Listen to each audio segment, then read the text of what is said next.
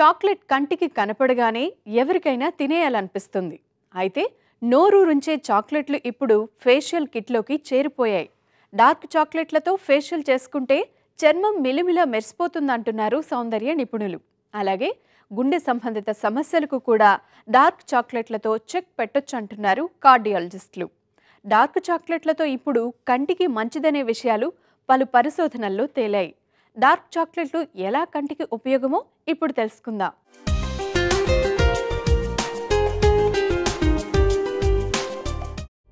Chocolate మాట వినగానే పిల్లల నుంచి పెద్దల వరకు అందరికీ నోట్లో నీళ్ళూరాల్సిందే వేల ఏళ్ళ చరిత్రగల చాక్లెట్ మానసిక శారీరక ఆరోగ్యానికి ఎంతగానో దోహదం చేస్తుంది.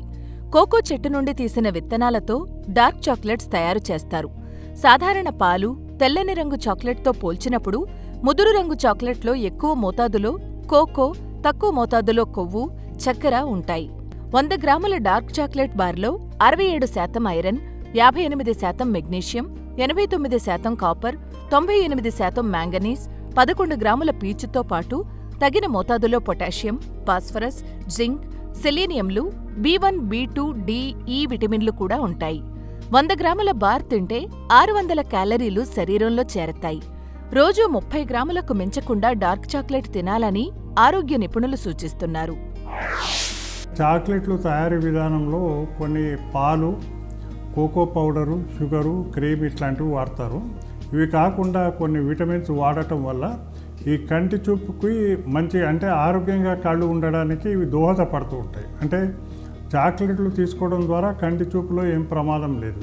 కానీ కంటి చూపు కొరకని ఈ చాక్లెట్లు ఎక్కువగా తీసుకోవడం అవసరం లేదు. పెద్దవారు కూడా ఏంటంటే ఈ చాక్లెట్లు బాగా తీసుకోవడం వల్ల కంటి చూపు బాగానే ఉంటుంది. కాకపోతే ఏంటంటే మధుమేహంతో బాధపడేవాళ్ళు కనుక చాక్లెట్ తీసుకుంటే షుగర్ లెవెల్స్ ఎక్కువగా అయ్యి వాళ్ళు కంటి చూపు తగ్గిపోయే ప్రమాదం ఉంటుంది. పెద్దవాళ్ళు మాత్రం చాక్లెట్లు తగిన రీతిలో మాత్రమే తీసుకోవాల్సి ఉంటుంది. దానివల్ల ఏంటంటే కంటి చూపుకు అది ఉపయోగపడుతుంది. ఈ మధ్య కొన్ని చాక్లెట్ల తయారీ విధానంలో విటమిన్స్ కూడా కలపడం వల్ల అవి మన కంటి చూపుకి ఎంతో సహకరిస్తుంటుంది. చిన్నపిల్లలు డార్క్ చాక్లెట్ తీసుకోవడానికి మనం ప్రోత్సాహం ఇవ్వచ్చు. కాకపోతే ఎక్కువగా తీసుకోవటం వల్ల వాళ్ళకు డైజెషన్ కెపాసిటీ ఎక్కువగా ఉండదు కాబట్టి వాళ్ళు మిగతా ఆహార పదార్థాలు తీసుకోరు. అంటే ఆకుకూరలు అట్లాంటివి తీసుకోకపోవటం వల్ల మళ్ళీ దానివల్ల కూడా కంటి చూపు ప్రమాదం ఉంటుంది. అంటే చాక్లెట్లు తగిన రీతిలో తీసుకోవడం వల్ల కంటి చూపును కాపాడుకునే అవకాశం ఉంటుంది. డార్క్ చాక్లెట్లు తినడం వల్ల రక్తపోటును అదుపులో ఉంచుకోవచ్చు. మెదడు పనితీరును మెరుగుపరచడానికి సహాయపడుతుంది. బ్లడ్ షుగర్ను కంట్రోల్లో ఉంచుతుంది. డార్క్ చాక్లెట్లలో యాంటీఆక్సిడెంట్స్ పుష్కలంగా ఉండడం వల్ల అనేక రకాల క్యాన్సర్స్ నుంచి రక్షణ కల్పించవచ్చు. డార్క్ చాక్లెట్ రక్త సరఫరాను మెరుగుపరచడమే కాకుండా రక్తం గడ్డకట్టకుండా కూడా సహాయపడుతుంది. డార్క్ చాక్లెట్ తినడం వల్ల ధమనులు గట్టిపడడాన్ని నిరోధించవచ్చునని ఆరోగ్య నిపుణులు చెబుతున్నారు. మెరిసే మృదువైన చర్మం కోరుకునేవారు తప్పకుండా డార్క్ చాక్లెట్స్ తీసుకోవాలి. అలాగే డార్క్ చాక్లెట్లు దంతాలకు మేలు చేస్తాయి మానసిక ఉద్వేగాలను దూరం చేస్తాయి. మన ఆరోగ్యానికి హాని జరుగుతుందని మొదలైన కారణాల దృష్ట్యా వాటికి దూరంగా ఉండడానికి ప్రయత్నిస్తాం. కానీ చాక్లెట్ తినడం వలన మన కంటికి పలు ప్రయోజనాలున్నాయని తెలుసా? డార్క్ చాక్లెట్స్లో కోకో అధికంగా ఉండడం వల్ల కళ్ళ చుట్టూ ఉండే కార్నియాను ఆరోగ్యంగా ఉంచుతుంది. కాబట్టి అన్స్వీటెడ్ డార్క్ చాక్లెట్ను రెగ్యులర్గా తీసుకోవడం వల్ల కంటి ఆరోగ్యానికి చాలా మంచిది. కంటి చూపు మెరుగుపడటమే కాకుండా మాక్యులర్ డీజెనరేషన్ గ్లకోమా క్యాటరాక్ట్స్ వంటి సమస్యలు అదుపులో ఉంటాయని పరిశోధకులు చెబుతున్నారు. చాక్లెట్లు ఆరోగ్యానికి మంచిదే. దీనివల్ల ఏంటంటే కంటి చూపు కూడా ఏమాత్రం తగ్గిపోదు. అంటే కంటి చూపును కాపాడుకోవడానికి ఈ విటమిన్స్ కూడా కలపడం వల్ల ఈ మధ్య వచ్చే చాక్లెట్లు ఎంతో దోహదపడుతూ ఉంటాయి. చాక్లెట్లు తీసుకోమని మనం చెప్తూ ఉంటాము.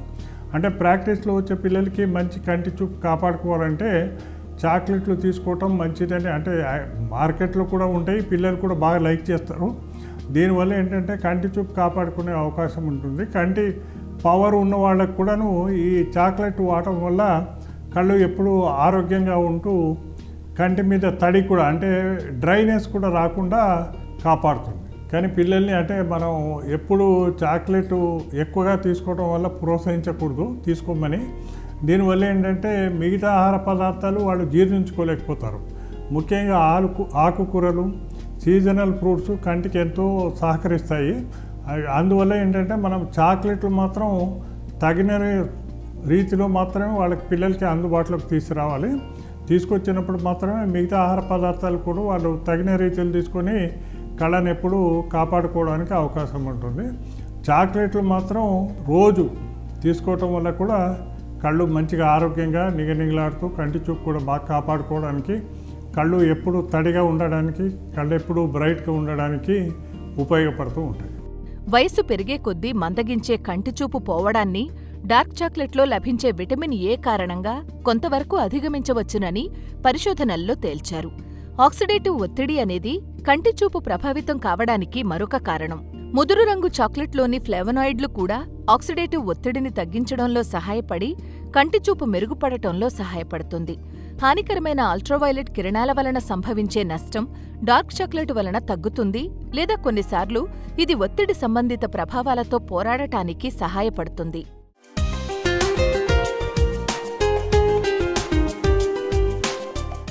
ఆహార నియమాల్లో కొన్ని జాగ్రత్తలు పాటిస్తే కళ్ళ సమస్యలు రాకుండా చూసుకోవచ్చు అంటున్నారు ఆరోగ్య నిపుణులు. రోజువారీ డైట్లో ముప్పై గ్రాములకు మించకుండా డార్క్ చాక్లెట్లను కూడా భాగం చేసుకుంటే కంటి చూపు సమస్యలు రాకుండా చూసుకోవచ్చునని పరిశోధకులు సెలవిస్తున్నారు. వారి సూచనల్ని కొంతైనా పాటించి ఆరోగ్యాన్ని కాపాడుకుంటారని ఆశిస్తున్నాం. గతంలో నలభై యాభై ఏళ్ళు దాటిన వారిలో గుండెపోటు స్ట్రోక్ గుండె సంబంధిత సమస్యలు బారిన పడేవారు ఉండేవారు. కానీ ప్రస్తుత కాలంలో ఇరవై నుండి ముప్పై ఏళ్ళ నుంచి ఈ సమస్యలు మొదలవుతున్నాయి. ప్రస్తుత రోజుల్లో హార్ట్ సమస్యలకు ఒక వయస్సు అంటూ పరిమితి లేకుండా పోయింది. మారుతున్న జీవనశైలితో ఇరవైలో ఆరోగ్యకరమైన గుండెతో పాటు నలభై ఏళ్ళ వయసులో మంచి మెదడును ఎలా సంపాదించవచ్చు? ఈ విషయాలను ఇప్పుడు చూద్దాం.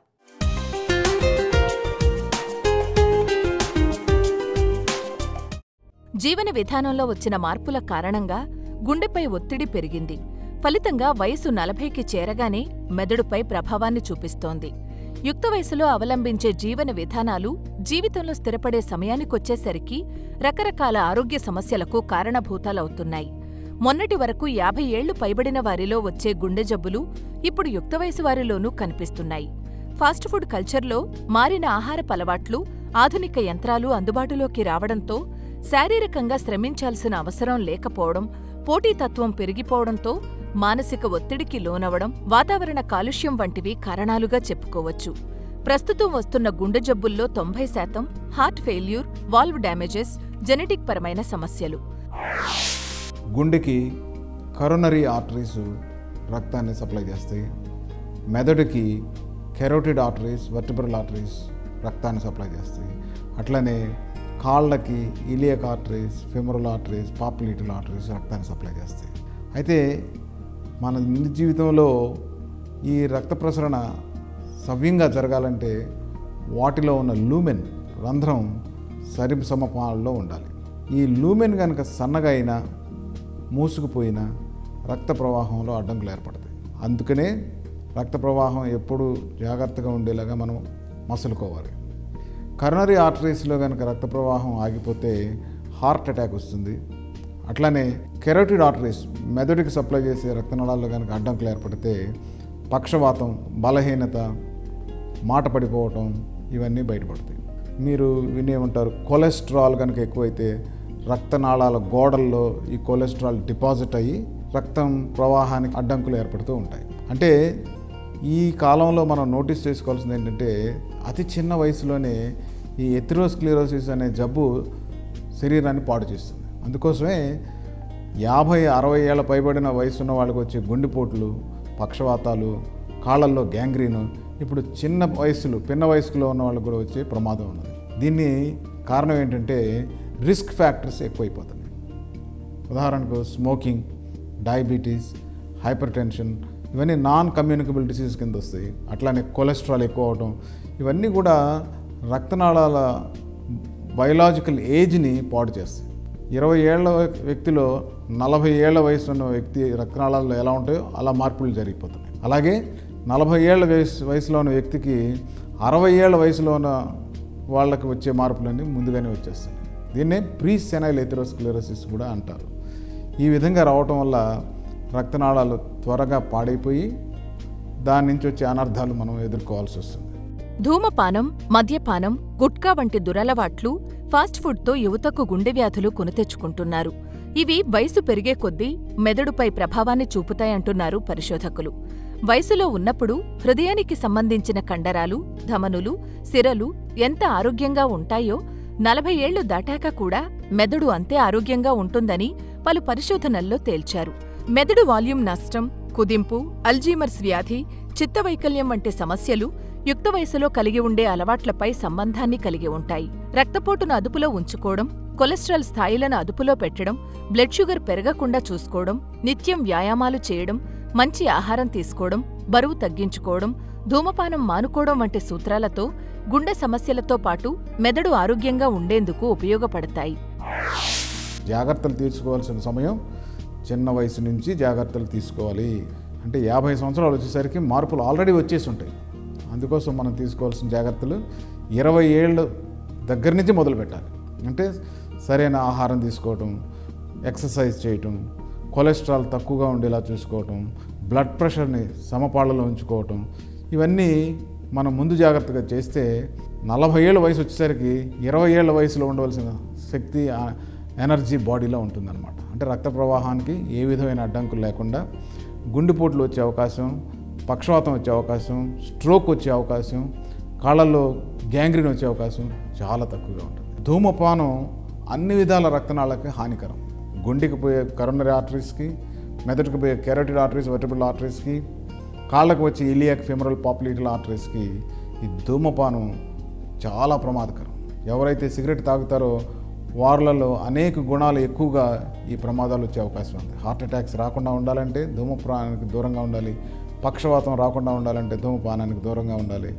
అలాగే కాళ్ళల్లో రక్త ప్రసారం తగ్గి గ్యాంగ్రీన్ రాకుండా ఉండాలంటే ధూమపానానికి నో చెప్పాలి. ఈ స్మోకింగ్కి దూరంగా ఉంటే ఎంత దూరంగా ఉంటే అంత మంచిది. ఎందుకంటే రక్తనాళాల్లో ఉన్న లోపల పొరల్లో కణాలని ఈ స్మోక్ డ్యామేజ్ చేస్తుంది. ఒక సిగరెట్లో six inches cigarette six feet tall మ్యాన్ని నాశనం చేస్తుంది. శరీరంలోని అన్ని అవయవాలకు గుండె నుంచే రక్తం పంపింగ్ అవుతుంది. గుండె కండరాలతో పాటు ధమనులు సిరలు ఆరోగ్యంగా ఉన్నప్పుడే రక్తం సరైన విధంగా పంపింగ్ చేస్తుంది. అలాగే మనం గ్రహించే ఆక్సిజన్ను రక్తం ద్వారా అన్ని అవయవాలకు చేరవేస్తుంది. ముఖ్యంగా మెదడుకు ఆక్సిజన్ అందడంలో ఏమాత్రం ఆలస్యం జరిగినా పెద్ద ప్రమాదమే ముంచుకొస్తుంది. ఇరవై ఏళ్ళ వయసులో చేసే పొరపాట్లు గుండె పనితీరుపై పడి అది నలభై ఏళ్ళొచ్చేసరికి మెదడుపై ప్రభావం చూపుతాయి. ఇరవై ఏళ్ళ వయసులో వారంలో నలభై ఐదు నిమిషాల చొప్పున మూడు రోజులు తప్పనిసరిగా గుండెకు సంబంధించిన వ్యాయామాలకు ప్రాధాన్యతనివ్వాలి. ముప్పైల్లో వారంలో రెండు రోజులు అంటే రోజు మార్చి రోజు కనీసం ఇరవై నుంచి ఇరవై ఐదు నిమిషాలు వ్యాయామం చేయాలి. నలభైల్లో గుండెకు సంబంధించిన వ్యాయామాలు మితిమీరి చేయకూడదు. పరుగు సైకిల్ తొక్కడం లాంటివి అతిగా చేయకూడదు. మెదడు మెరుగుపరచడానికి పైనాపిల్ క్యారెట్లు అవకాడోలు ఆహారంలో చేర్చుకోవాలి. మద్యపానం ధూమపానాలకు దూరంగా ఉండాలి. వయసులో ఉన్నాం మాకేం కాదు అనే భ్రమలో నుంచి బయటకు రావాలి. లేదంటే స్థిరపడే వయసొచ్చేసరికి గుండెతో పాటు మెదడు సమస్యలు కూడా చుట్టుముడతాయి.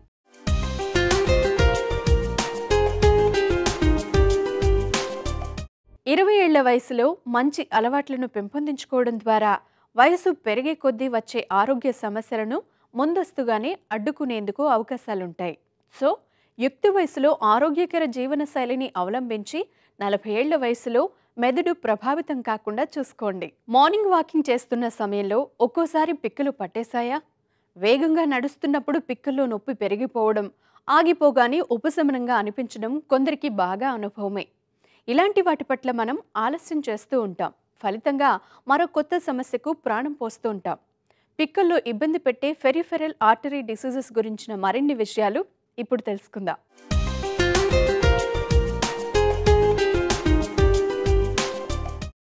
రక్తనాళాల్లో పూడికలనగానే ఎవరికైనా ముందుగా గుండె రక్తనాళాలే గుర్తుకొస్తాయి. కానీ గుండెకు ఆవలి భాగాల్లోనూ పూడికలు తలెత్తొచ్చు. పిక్కల్లోని రక్తనాళాల్లో పూడికల ద్వారా తరచూ నొప్పి రావడాన్ని వైద్య పరిభాషలో పెరిఫెరల్ ఆర్టీరియల్ డిసీజ్ అంటారు. ఈ వ్యాధి రావడానికి కాళ్ళల్లో వాపు రావడం రక్తనాళాల్లో ఏదైనా అడ్డంకు ఏర్పడడం లేదా రక్తనాళాలు బాగా బలహీనమైపోవడమో కారణం కావచ్చు.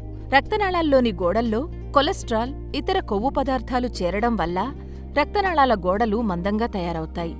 ఫలితంగా రక్త ప్రసరణకు ఆటంకం ఏర్పడుతుంది. ఈ వ్యాధితో బాధపడేవారు సాధారణంగా పిక్కలు తుంటి నొప్పులకు గురవుతుంటారు. పిక్కల్లో నొప్పి చాలా ఎక్కువైనప్పుడు పాదాల్లో నిరంతరంగా మంట కూడా రావచ్చు. చివరికి కొద్ది దూరం నడిచినా పిక్కల్లో తుంటిలో పిరుదు భాగాల్లో నొప్పి కనిపిస్తుంది.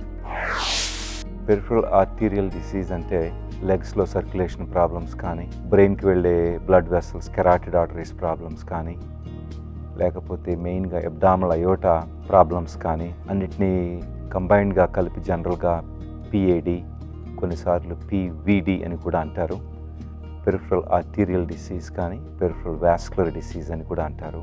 కామన్గా ఏమవుతుందంటే జనరల్గా మనకి ఫిఫ్టీ సిక్స్టీ ఇయర్ ఓల్డ్ ఆ ప్రాంతంలో ఇవి మొదలవుతాయి. మెయిన్గా స్మోకింగ్కి డయాబెటీస్కి హై బ్లడ్ ప్రెషర్ ఉన్న వాళ్ళకి కొలెస్ట్రాల్ ప్రాబ్లం ఉన్న వాళ్ళకి జరుగుతుంది. సేమ్ మన హార్ట్ ఎలా రిస్క్ ఫ్యాక్టర్స్ ఉంటాయో అలాంటి రిస్క్ ఫ్యాక్టర్సే దీంట్లో కూడా ఉంటాయి. దానివల్ల ప్రాబ్లం ఏంటంటే హార్ట్ ఒక్కటే కాదు మనకి బ్రెయిన్ సర్క్యులేషన్ కానీ లెగ్ సర్క్యులేషన్ కానీ కాళ్ళకి నొప్పులు వా నడిచినప్పుడు కానీ అల్సర్స్ ఎస్పెషల్గా డయాబెటిక్ ఫుట్ అంటారు. ఆ డయాబెటిక్ అల్సర్స్ హీల్ అవ్వకపోవడం కానీ తర్వాత మనకి ఇన్ఫెక్షన్ వచ్చి గ్యాంగ్రీన్ లాగా రావటం కానీ జరుగుతూ ఉంటాయి. దీనివల్ల మెయిన్గా ప్రాబ్లం ఏంటంటే మనం నడిచినప్పుడు కానీ ఈ బటక్ రీజియన్స్ కానీ లేకపోతే తొడల దగ్గర కానీ క్యాఫ్ మనకి లెగ్స్లో కింద కానీ బాగా నిప్పులాగా వస్తూ ఉంటుంది. కొన్నిసార్లు బాగా పట్టేసినట్లుగా ఉంటుంది. కొంచెం మనం స్టెప్స్ మీద పైకి నడిచినా కానీ కొంచెం క్విక్గా బ్రిస్క్గా నడిచినా కానీ తొందరగా మనకి కాళ్ళకి బాగా ఎనర్జీ లేనట్టుగాను దీన్నే క్లాడికేషన్ అంటారు. ఏంటంటే ఇది మెయిన్గా సిమ్టమ్ అనమాట అండి సర్క్యులేషన్కి. ఈ క్లాడికేషన్ ప్రోగ్రెస్ అయితే ఈ లెగ్లో ఇంకా బ్లాకేజెస్ సర్క్యులేషన్ బాగా వర్స్ అయ్యి తర్వాత ఈవెన్చువల్గా బాగా గ్యాంగ్రీన్ కానీ ఇన్ఫెక్షన్ కానీ మనకి బాగా పుళ్ళు పడి అవి హీల్ అవ్వకుండా ఉండటం కానీ తర్వాత బాగా లేట్ స్టేజెస్ అయిపోతే యాంపిటేషన్ కూడా చేయాల్సి వస్తుంటుంది. సాధారణంగా మంచి రక్తాన్ని తీసుకుపోయే ధమనుల గోడలు చాలా మృదువుగా ఉంటాయి.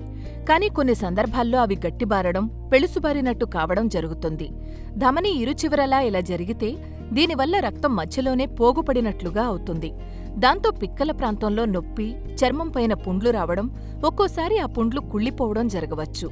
ఇలాంటి సందర్భాల్లో రక్తనాళంలోకి అంతకంటే సన్నటి నాళాన్ని మళ్ళీ ప్రవేశపెట్టి యాంజియోప్లాస్టీ ప్రక్రియతో రక్తనాళాన్ని శుభ్రపరిచి వెడల్పు చేయడం వల్ల సమస్యకు పరిష్కారం లభిస్తుంది. కాళ్ళలోని రక్తనాళాల్లో పూడికలు ఉన్నా కూడా పైకి ఎలాంటి లక్షణాలు కనబడకపోవచ్చు. అయితే కొందరిలో నడుస్తున్నప్పుడు మెట్లెక్కుతున్నప్పుడు నొప్పి మొద్దుబారడం కాలి కండరాలు బరువెక్కినట్టు అనిపించడం వంటి లక్షణాలు కనబడొచ్చు. తొడలు పిక్కలు పాదాలు పట్టేయడం వంటివి ఉండొచ్చు. కాళ్ళు పాదాలలో నాడి బలహీనంగా కొట్టుకోవడం లేదా అస్సలు కొట్టుకోకపోవడం కాళ్ళు పాదాలు వేళ్ళపై పుండ్లు ఎంతకీ మానకపోవడం చర్మం పాలిపోవడం లేదా నీలంగా మారటం కాళ్ళు చల్లగా ఉండడం కాలిగోళ్ళు వెంట్రుకలు సరిగా పెరగకపోవడం ఇలాంటి లక్షణాలు కనిపిస్తే అశ్రద్ధ చెయ్యకుండా వెంటనే వైద్యుణ్ణి సంప్రదించి తగిన చికిత్స తీసుకోవాలి. కాకుండా ఉండాలంటే మెయిన్గా స్మోకింగ్ ఆపేయటం డయాబెటీస్ బ్లడ్ షుగర్ చూసుకోవడం రోజు నడవటం బ్లడ్ ప్రెషర్ కానీ కొలెస్ట్రాల్ కానీ ఇవన్నీ చూసుకోవాలి మనం. వెయిట్ తగ్గాలి నడవట బాగా యాక్టివిటీ ఉండాలి. ఈ ఉంటే కానీ మనకి ఈ ప్రాబ్లం తగ్గదు. ఎందుకంటే మనకి డయాబెటీస్ బాగా పెరుగుతూ ఉంది. బ్లడ్ షుగర్స్ కూడా అంతగా కంట్రోల్ కొన్నిసార్లు చేయలేకపోతాం. మన వర్క్ వలన కానీ మనం తినే ఫుడ్ హ్యాబిట్స్ వలన కూడా కానీ. బాగా మనకి రైస్ ఇట్లా కార్బోహైడ్రేట్స్ తగ్గించుకోవాలి సాల్ట్ తగ్గించుకోవాలి. ఇవన్నీ చూసుకుని మనం బాగా ఫుడ్ కేర్ అంటే రోజు మనం ఫుడ్ వంక చూసుకుంటా ఏమైనా అల్సర్స్ ఉన్నాయా? మంచి షూస్ చూసుకుని ఆ షూస్ వలన ఏంటంటే మనకి ప్రెషర్ లేకుండా అల్సర్స్ కూడా లేకుండా చూసుకోవాలి. ఇవన్నీ ఉంటే మనం కొంచెం దీన్ని ప్రివెంట్ చేసుకోవడానికి మంచి అవకాశం ఉంది. ఇప్పుడు బాగా ట్రీట్మెంట్ ఆప్షన్స్ కూడా బాగా ఇంప్రూవ్ అయినాయి. ఇంతకు ముందంటే పెద్ద ట్రీట్మెంట్ ఆప్షన్స్ ఉండే కాదు. ఇందాక మనం అనుకున్నట్లుగా రోజు వాకింగ్ ప్రోగ్రామ్స్ ఈ రిస్క్ ఫ్యాక్టర్స్ అంటే మన డయాబెటీస్ కంట్రోల్ కానీ బ్లడ్ ప్రెషర్ కంట్రోల్ కానీ స్మోకింగ్ కంట్రోల్ స్మోకింగ్ కంప్లీట్గా ఆపేయటం కూడాను మెడిసిన్స్ జాగ్రత్తగా తీసుకోవడం ఇవన్నీ చూసుకున్న తర్వాత కూడాను కొన్నిసార్లు ఇది బాగా వరుస అయ్యే అవకాశం కూడా ఉంది. దానివల్ల ఏంటంటే ఇప్పుడు కొత్తగా మనకి యాంజియోగ్రామ్స్. మనకి ఇందాక అనుకున్నట్లుగా హార్ట్ కాకుండా ఈ మన లెగ్స్ కూడా యాంజియోగ్రామ్ చేసుకుని కొన్నిసార్లు బెలూన్స్ చేస్తాము స్టెంట్లు పెట్టాల్సి వస్తూ ఉంటుంది. కొన్నిసార్లు బైపాస్ కూడా అవసరం అవుతుంది లోవర్ ఎక్స్ట్రీమిటీస్ అంటే లెగ్స్ కూడాను. దాన్ని బట్టి మనకి కావలసిన ట్రీట్మెంట్ దాన్ని ఏ విధంగా మనకి యాంజియోగ్రామ్లో ఉన్న ఫైండింగ్స్ని బట్టి మనం డిసైడ్ చేసుకోవాల్సి వస్తుంది. వయసు పెరుగుతున్న కొద్దీ రక్తనాళాల్లో పూడికలు తలెత్తే ముప్పు ఎక్కువవుతుంటుంది అధిక రక్తపోటు మధుమేహం రక్తంలో కొలెస్ట్రాల్ మోతాదులు పెరగడం గుండె జబ్బు పక్షవాతం జీవక్రియ సంబంధ రుగ్మతల మూలంగానూ పీఏడీ రావొచ్చు. తరచూ పల్స్ ఎగ్జామినేషన్ చేయించడం ద్వారానే ఈ సమస్యను నియంత్రించడం సాధ్యమవుతుంది. తాజా పండ్లు కూరగాయలు ఎక్కువగా తీసుకోవాలి. చేపలు గింజలు చిక్కుళ్ళు ఆహారంలో భాగం చేసుకోవాలి. సంతృప్త కొవ్వులు తక్కువగా తీసుకోవాలి. ఆల్కహాల్ తీసుకునే అలవాటున్నవారు దాన్ని పరిమితం చేసుకోవాలి. సిగరెట్ స్మోకింగ్ పూర్తిగా మానేయాలి. నీళ్ళు వీలైనంత ఎక్కువగా తాగాలి. రోజులో కనీసం ముప్పై నిమిషాల పాటు వ్యాయామం చేయాలి.